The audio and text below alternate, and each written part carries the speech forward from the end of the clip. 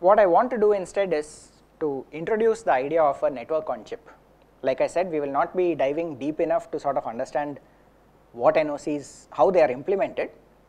We are going to look at a lot of the terminology so that you can at least understand the core ideas of NOCs, why they are useful and what are the different considerations when you are actually trying to implement NOCs. Okay.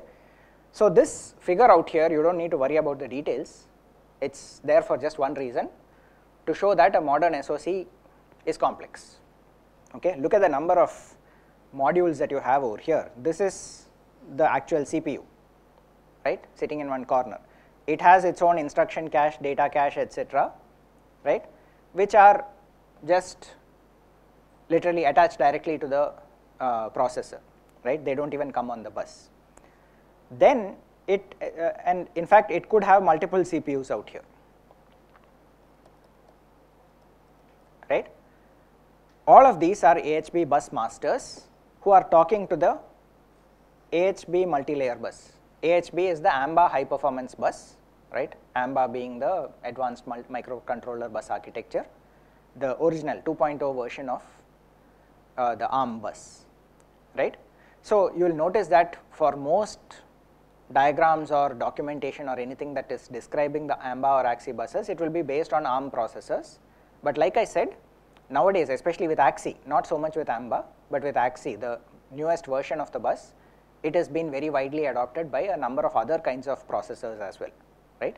So, it is very likely that you can come across for example, a RISC-V based system with an AXI bus interface. But this ARM processor has access to an AHB multi-layer bus look at the number of peripherals it has to deal with, right. There is a DMA out here, there is an LCD for display, then there are a large number of these BIUs are basically bus interface units. It is talking to a memory controller which has to deal with a whole lot of different types of memory, flash, DRAM, SRAM, uh, DDR memory, right, all of those. There is a USB peripheral, there is an ethernet peripheral, there is some ROM which contains static uh, configuration data, right. There are some other instruction memory, data memory, a CAN bus which is used for it's basically a controller area network, right. It's used for certain kinds of control applications. And then you have the bridge, the AHB to APB bridge, on the right side of which you actually have the slower peripherals, right. The slower peripherals include a watchdog timer, boot control, uh, some interrupt control unit, timers, real time clock, right. You already have something like this one system on chip has something like one processor plus around 25 or so peripherals, right, not 25, I mean close to 20 peripherals, okay. And this is a relatively very simple SOC. So, how does this get complicated? What happens is typically in a modern SOC you would have multiple of these things, you would have multiple network interfaces, you would have GPU accelerators, you would have graphics accelerators, you would have accelerators that deal only with sound processing, there would be some other accelerator for doing the baseband uh, processing for uh, modem communication, right. By the time you add all of those together, there would be other things for error correcting codes, right. You add all of those together and the number of such peripherals that are talking on the bus nowadays can easily hit 20, 30, 40, 50, right, and the number is expected to keep increasing, right, because you can already see that one of the things that happened in the past 10, 15 years is that if you had noticed, if you had, if you have gone back and read the history of how processor development went along, throughout the 90s and into the mid 2000s, the entire nature of the game was just clock speed, right. So, in 1995 for example, having a 100 megahertz processor was a big deal. Somewhere along the line by 2000 they had hit 1 gigahertz, right, but then it started slowly saturating. They went up to 2, 3, reached 4. At that point they essentially found that the power bottleneck was such that you simply can't go to higher frequencies okay.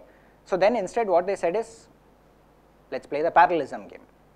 We have these transistors, we know how to integrate more and more transistors, we do not know what to do with them, right. we are not able to make them run any faster, so let us use them in parallel, which is where the sort of multi-core game started, right? Dual core, 4 core, 6 core. So laptops now have 8 core processors for example, right? Are they really using them? Probably not. Then of course came the GPU, hundreds of cores, thousands of cores, okay? So the point is in principle you can start thinking of any of these things as potentially peripherals that are all talking to a single bus, right. Even if I have a many core system, then I can actually think of it as having you know hundreds of bus masters talking on the same bus. Okay. Obviously, if I try having one bus as the bottleneck between all of them, that becomes a major problem. I can't afford that. But more importantly, the question is how do I even build such a system? Okay. So that essentially led to the question of should I even and you know a related problem was what happens in the synthesis flow itself, right. So over here what we have is we start with an architectural specification which is a high level block diagram like the one that we saw here, right. So this is an architectural specification, it is telling you what the blocks are and how they are connected to each other, logically connected. If I take that same architectural specification, right, and go through to physical implementation, what usually ends up happening is this figure that you see on the bottom left, right. For those of you who might have gone through a complete process of actually taking a chip through the synthesis and then place and route, you will see that this is not unrealistic.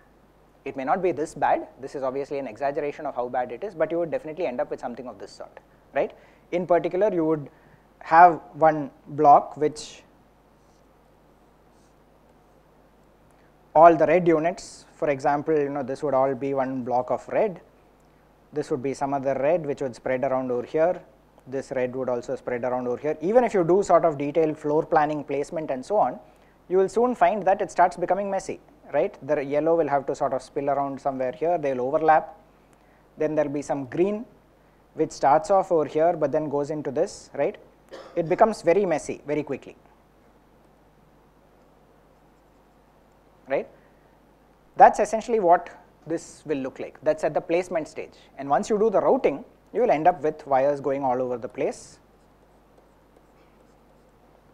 and the net result will finally be something like what we are seeing on the bottom left. Okay. Why does this happen? Because the synthesis tools are essentially taking these large number of gates that you have and trying to optimize them. They are trying to optimize the placement, they are trying to optimize the routing, they want to minimize the wasted area as well as the length of the wires. Okay. So, they say look anyway you are not going to go in there and actually try and fiddle around with these gates, let the tool actually just decide the optimum placement so that your performance is best. This is what you end up with. It is not just that it looks bad, the bigger problem is the synthesis and place and route for a tool like this right can take days literally days not minutes or hours, days, right. So, IBM when they talk about their power processor design for example, one part of their processor when they do the place and route, every run for that literally takes about a day or so and that is just one part, there are probably around 20 such parts that they need to put together. Okay. And these are on machines that have a terabyte of RAM. Okay. So, this is clearly sort of got to the point where it is running out of control. The proposal which was basically made by William Dally originally in DAC 2001 and since then he has been promoting it. By the way William Dally is was a professor at Stanford I think still is, but uh, is also the chief technologist at NVIDIA. Okay. So, he proposed this uh, idea that look change the way that you look at the architecture specification itself. Let us modify it slightly so that rather than just having this bus and all the things connected to the bus, let us think of these tiny blocks over here as just being network switches or routers, right. So, effectively every one of those blocks now has the ability of taking a packet of data and deciding which way it needs to go. The simple way of thinking about it is north, south, east or west, right? Directions are sort of specified that way usually. So each of those routers can take incoming data and switch it to some other side, okay? What that means is each of these blocks, now in principle there is no reason why the blocks even need to be sort of specifically, even from the architectural diagram point of view, right?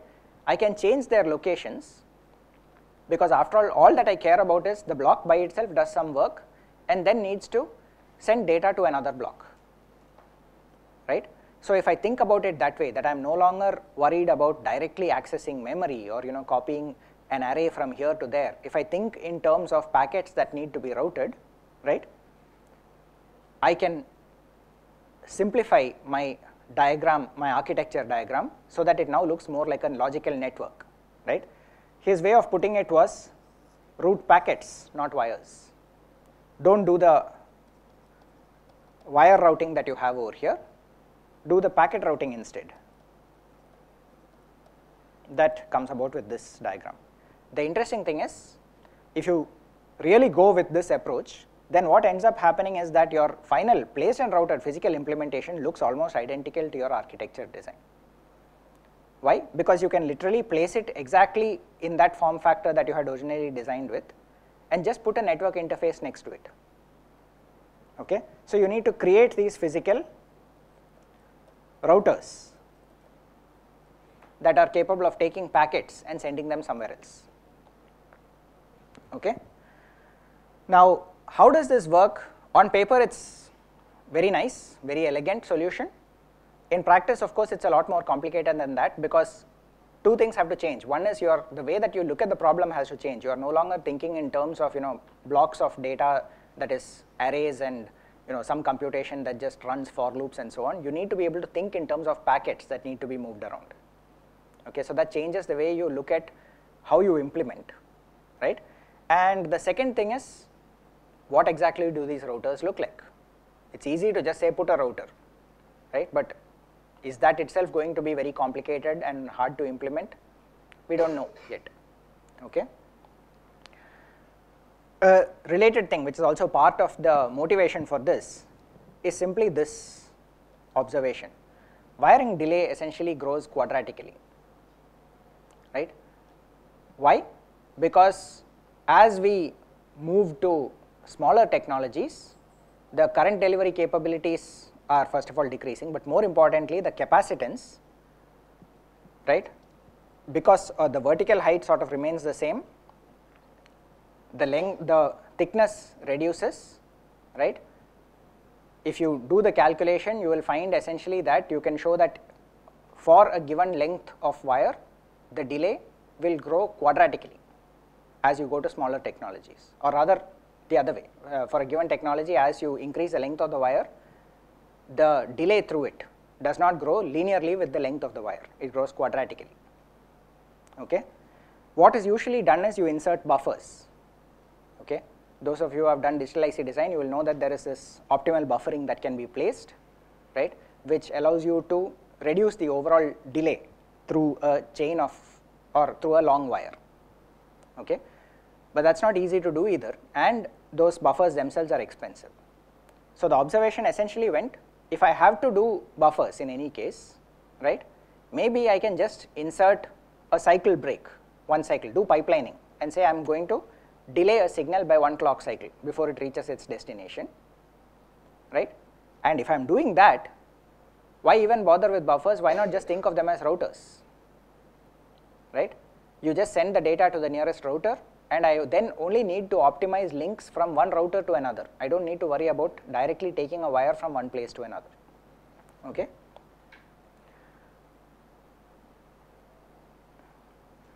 okay. Uh,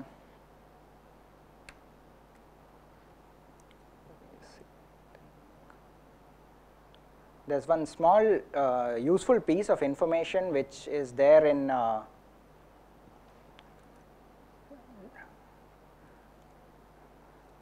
Dally's uh, presentation.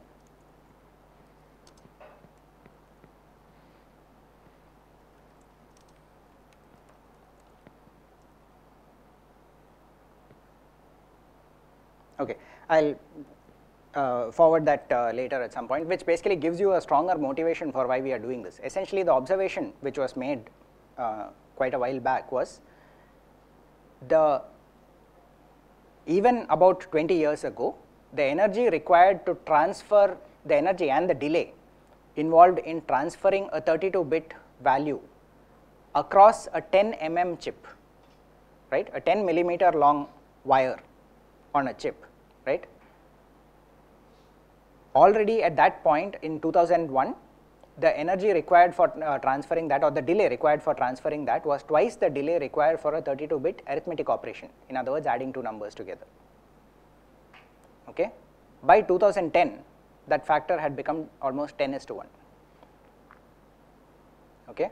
Because what ended up happening is as transistors get smaller, the delay through them becomes less which means that the arithmetic delays start dropping. On the other hand, the current delivering capabilities of the transistors also decrease, which means that their ability to drive a signal across 10 mm has decreased and it ends up taking longer. Okay. Now, why 10 mm? Because that is more or less the size at which a chip is considered relatively you know fabricatable without having very bad yield. Okay. There are chips larger than that and there are many chips that are much smaller than that. So, 10 is not a very small chip, right. But for the kinds of SOCs and large processor systems that we are talking about 10 mm is probably a reasonable length for a wire to travel. Okay. So, all of this finally led to this motivation for the network on chip. What we are going to do is rather than looking at specific implementations, we want to understand some of their characteristics, right.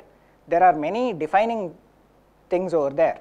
The topology or in other words, how they are laid out or how they are constructed, how they are connected together is one of the most important ones. This is what we will look at in a little bit detail, right. Other things such as the routing algorithm, switching strategy, flow control and so on, we are not going to look into that at all uh, in this course, right. Uh, for those of you who are interested, uh, Professor Madhu Mutyam in computer science has been working on networks on chip for quite a while. So, his students have in fact worked on various aspects of the routing and switching strategies over there, right. Uh, but we will not be looking at those in this course at all. The other thing that we really need to understand apart from different kinds of topologies is specific metrics that are used in order to understand how good or how poor a particular topology is. Okay? So, this is what I mean by topology. These are examples, right? This first one is something called a 2D mesh. The name is sort of self-explanatory, right? Essentially what it says is it is a mesh architecture, you have all these nodes that are processing elements and these are the links between them. Okay. So, the assumption over here is that the processing element also has the routing capabilities or alternatively you can think of it as just a router alone, right. In which case I would then have a processing element sitting connected to it, right either one of these views is perfectly fine. Either I can think of those circles as the routers that are just moving the data around and the processing elements are sitting next to them or I can say it is the processing element but also has routing capabilities within it. Okay. So, the mesh is very easy to understand right it is sort of an obvious way of connecting things given that you have a planar structure. The problem with it obviously is what happens if you know this one wants to communicate with this one right it has to jump through an intermediate stage. That brings us to the idea of a torus, right. In the torus you do precisely that, you make these connections from one end to the other, okay. It shortens the distance from between the endpoints and in fact potentially also gives you two ways of reaching the same place. Either I can go clockwise or anti-clockwise in order to get from A to B. So, supposing I want to go from A to B, I could either choose to do it directly like this or I could go like this, both of them are valid, right. Presumably I will only go using the shorter path, but there can be situations where the shorter path is blocked for some other reason and therefore I need to use the longer approach. Okay. So, the torus sort of takes the idea of a linear set of connections and just folds it upon itself, right? The hypercube is another sort of layout similar, right, which basically says that now I have connections in three dimensions, okay. Now obviously the torus and hypercube are not really friendly for layout, there is a problem there, right. I mean it is all very fine to say that I will just connect this end to that end, but that means that I have long wires which is the what I was trying to avoid in the first place, right. But it is a trade off between you know is this worthwhile from the point of view of the actual implementation and what kind of benefits do I get versus what kind of penalty do I have to pay for these long wires. Going further, there are a few more sort of broad topological structures. The ring is essentially saying that you know I will take all 0 up to 7 laid out in a straight line and just connect them into a ring instead, right. The octagon in this case supposing you have 8 processors has a ring plus in addition cross connections, okay. Why is it brought in? For a simple reason, supposing I wanted to go from 0 to 4, that is the worst case connection inside a ring, right, whereas over here I have a short direct connection. What that also means is supposing I want to go from 0 to 5, this is usually 3 steps, 3 links or hops, right, whereas over here it now becomes 2 hops. Okay. So, having those direct short connections, short circuits across the system can help. Incidentally, one thing that has sort of driven a lot of this design process is this idea of so called small world networks.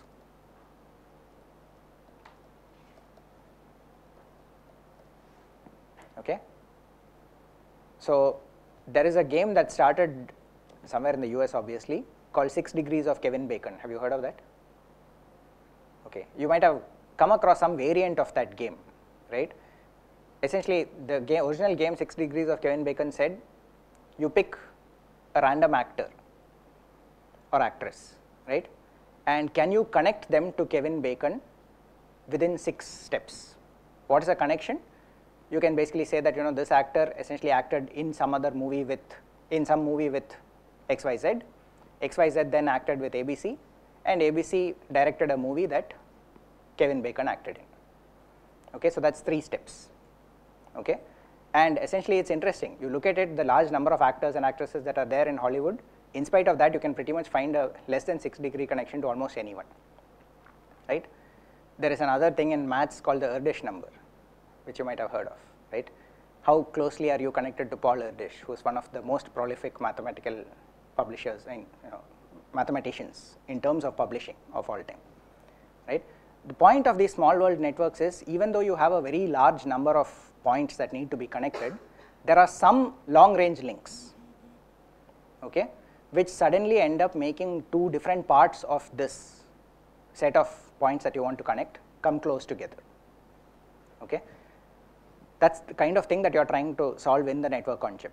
You are not necessarily interested in finding a very regular structure or ideally you would like a regular structure, but you are thinking of ways by which I can quickly get to my destination. So, if there are a few long range links right, they might allow me to sort of make use of them if I actually want to go across large distances in a shorter number of hops, right. Obviously, there is a price to be paid for those long range links which is that they are long, they are going to be expensive, they are probably going to consume a lot of power as well as delay, right. But if you have relatively few of them rather than having a large number of them, it probably is worth it. So, the small world networks are that idea comes up a lot in the design of networks on chip. Okay. The crossbar is the opposite extreme, it is the smallest possible world, everybody is directly connected to everyone else, right. But as you can see, the problem with the crossbar is precisely that, everybody is directly connected to everybody else, just too many links. Routing a crossbar can be a nightmare.